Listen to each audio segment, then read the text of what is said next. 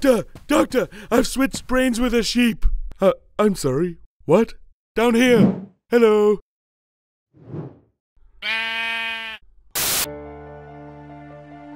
Look at this luxurious fence post.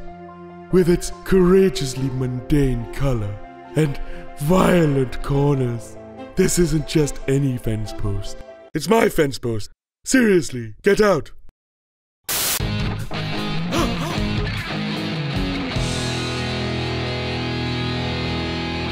Villager number 54! Are you coming for dinner? Will villager number 54 come for dinner? Find out on the next Villagermon GT! We now return to generic teenage soap opera. Hey, hey, will, will you trade with me? No.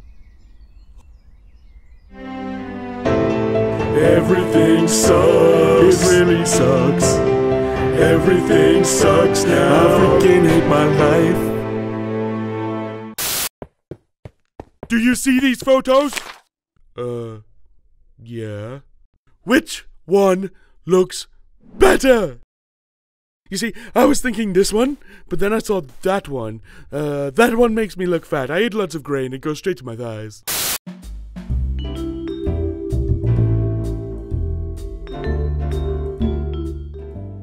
Hey kids, this is Sally. Sally has stolen Thomas's toy. I'm sorry for stealing your toy, Thomas. So, should Thomas forgive Sally? No.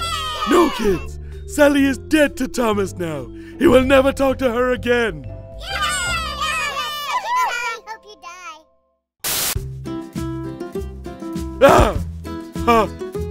Have you had an accident at work that wasn't your fault? Oh no! I have fallen! It's time to try human sacrifice! What? Last time on Villager Villagermon GT, Villager 54 was asked if he was coming for dinner. Villager number 54! Are you coming for dinner? Our story continues. Now, I have already eaten! oh! What?